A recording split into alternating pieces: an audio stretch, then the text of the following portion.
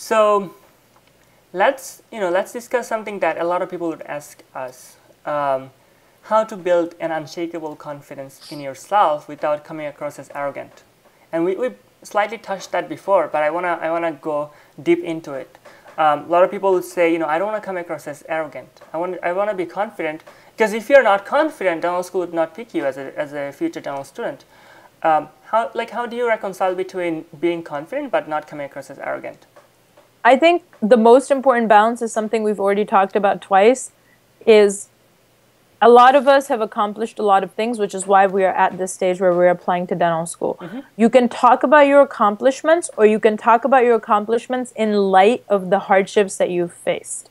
So, I could choose to focus on the fact that, oh, I was in this bachelor's program, or, oh, you know, I had all these points, or, um, you know, dental school was just, I had this 4.0 first two years. Like, I didn't and, and you'll just, find that many students in the interview, they would say that, oh, I had a 4.0 straight throughout my school. I'm like, okay, so what?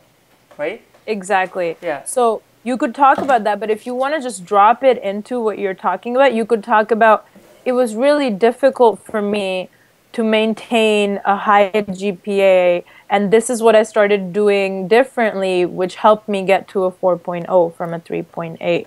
Or, oh, you know, I have a 26 on the DAT instead of just saying, yeah, you know, I aced the DAT, I did really well on the DAT. You could talk about, I didn't have the best GPA. They already know that. So you can acknowledge these things and own it.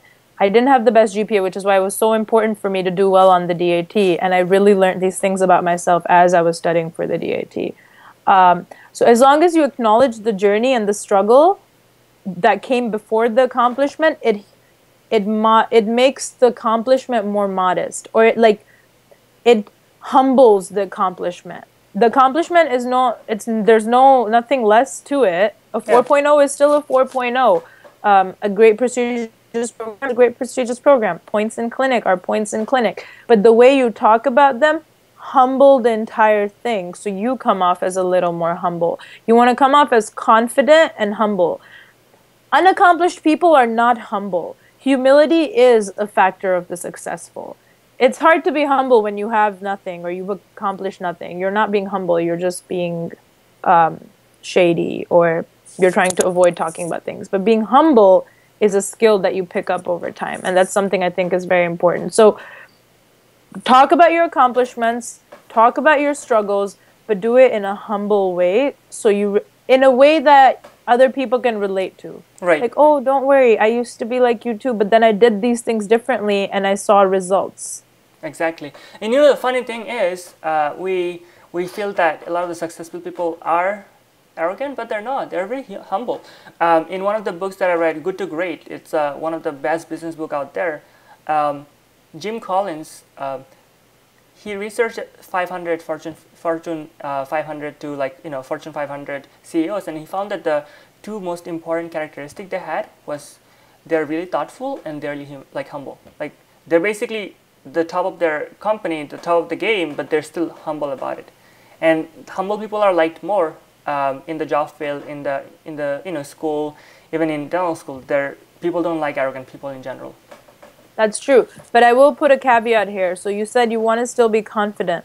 So when it comes time to your work, that is not the time to be humble. So if you know you do good a good job, if you know you're like a good dentist or you're very good with your hands, talk about it, but don't talk about it as if I'm really good with my hands. You can talk about it like I enjoy working with my hands. I built really great things and I love looking at that stuff. So that way you're talking about pursuing a passion, overcoming. So you have to you basically have to soften the blow in some way. Like you either talk about your interest and passions or you talk about how hard it was to get to where you are and like the things you've learned along the way and how it wasn't always that easy and right. how a lot of it was luck also but also talk about but i know my work is good and because of all these things hardships and this passion and interest i had in this thing now i'm good and i think that's helped me a lot. Every time i talk about this stuff like fortunately i have accomplished a lot of things but i always talk about now i'm at this stage. I wasn't always there. I wasn't born with a silver spoon in my mouth. And i think that is the difference between confidence and uh, arrogance. Awesome